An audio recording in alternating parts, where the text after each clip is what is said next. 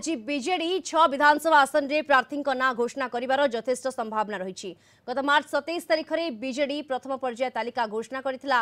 ବାସ୍ତରୀ ବିଧାନସଭା ଓ ନଅ ଲୋକସଭାରେ ପ୍ରାର୍ଥୀଙ୍କ ନାମ ଘୋଷଣା କରିଥିଲେ ବିଜେଡି ସୁପ୍ରିମୋ। ଏହା ଭିତରେ ଶହେ ଏକଚାଳିଶ ବିଧାନସଭା ଆସନରେ ବିଜେଡି ପ୍ରାର୍ଥୀ ଘୋଷଣା କରିସାରିଛି।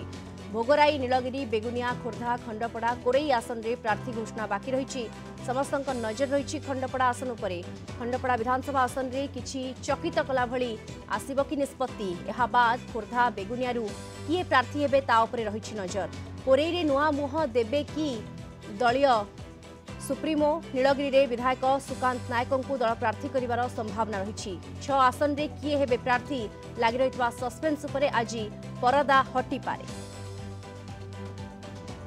अधिक सूचना ए संपर्क में आम सहित जोड़ी होती Kalinga T senior correspondent Pritikant Nayak जोड़ी होती प्रीतिकांत आज विजेडी तार अंतिम पर्याय प्रार्थी तालिका आसबार यथेष संभावना रही बलका छ विधानसभा आसन में प्रार्थी घोषणा कर पारे आज विजेडी दीप्ति मासक तले विजेडी हम्म। सुप्रीमो फास्ट उभय लोकसभा विधानसभा कैंडिडेट लिस्ट घोषणा करते ଫାଷ୍ଟ ପେଜରେ ନଅ ଲୋକସଭା ଆଉ ବାସ୍ତରୀ ବିଧାନସଭା ପାଇଁ କ୍ୟାଣ୍ଡିଡେଟ ମାନଙ୍କର ନାଁ ଘୋଷଣା କରିଥିଲେ।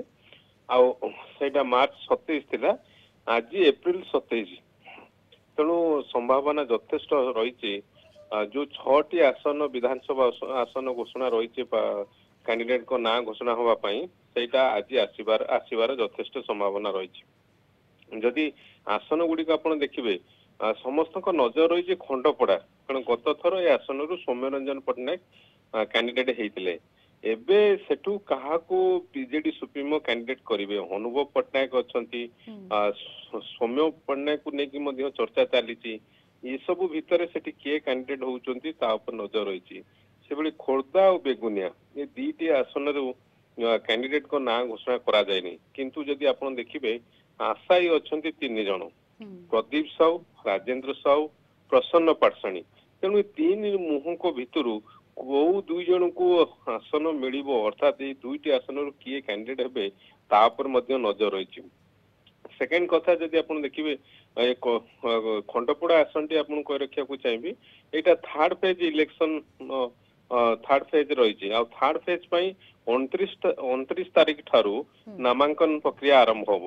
ତ ସେ ଦୃଷ୍ଟିରୁ ହୁଏତ ଆଜି ସମ୍ଭାବନା ରହିଛି। ସେଭଳି ଖୋର୍ଦ୍ଧା ବେଗୁନିଆ ଛାଡିଲେ କୋରେଇ ରହିଛି ନୀଳଗିରି ରହିଛି। ନୀଳଗିରି ବିଧାନସଭା ଆସନ ଆପଣ ଜାଣିଛନ୍ତି ସୁକାନ୍ତ ନାୟକ ନିକଟରେ ବିଜେଡିରେ ଆସିକି ମିଶିଥିଲେ। ଆ, ବିଧାୟକ ଅଛନ୍ତି। ତେଣୁ ତାଙ୍କର ଯଥେଷ୍ଟ ସମ୍ଭାବନା ରହିଛି ସିଏ କ୍ୟାଣ୍ଡିଡେଟ ହବାର। କିନ୍ତୁ ଯେହେତୁ ଭାରତୀୟ ଜନତା ପାର୍ଟି ଘୋଷଣା କରିନାହିଁ ସେଥିପାଇଁ ସେ ଆସନଟି ଘୋଷଣା ବିଳମ୍ବ ହଉଛି। ଦ୍ୱିତୀୟ କଥା କୋରେଇ ବିଧାନସଭା। କୋରେଇ ବିଧାନସଭାରେ ଯଦି ଆପଣ ଦେଖିବେ ଏବେ ବିଧାୟକ ଅଶୋକ ବଳ ଅଛନ୍ତି। କିନ୍ତୁ କଥା ଉଠୁଛି ସେ ଆସନରେ ଅଶୋକ ବଳ ରିପିଟ ହେବେ ନା ସେଠି ନୂଆ ମୁହଁକୁ ଉତାରିପାରେ ବିଜେଡି କିନ୍ତୁ ସମ୍ଭାବନା ରହିଛି ନୂଆ ଚେହେରା ସେଠି ଆସିପାରନ୍ତି ଅର୍ଥାତ୍ କ୍ୟାଣ୍ଡିଡେଟ ହେଇପାରନ୍ତି। ତେଣୁ ଏଇ ଯୋଉ ଛଅଟି ଆସନ ରହିଛି ଖଣ୍ଡପଡା ଖୋର୍ଦ୍ଧା ବେଗୁନିଆ କୋରେଇ ତା ସହିତ ନୀଳଗିରି ଇଏ ତା ସହିତ ଭୋଗରାଇ। ଇଏ ଆସନ ଗୁଡିକରେ ଭୋଗରାଇ କଥା ଯଦି ଆପଣ ଦେଖିବେ ଅନନ୍ତ ଦାସ ବିଧାୟକ ଅଛନ୍ତି। କିନ୍ତୁ ଅସୁସ୍ଥତା କାରଣରୁ ତାଙ୍କୁ ଏଥର ଟିକେଟ ନ ମିଳିପାରେ। ଏବେ କଥା ଉଠୁଛି ତାଙ୍କ ପରିବାରରୁ କାହାକୁ ଟିକେଟ ମିଳିବ?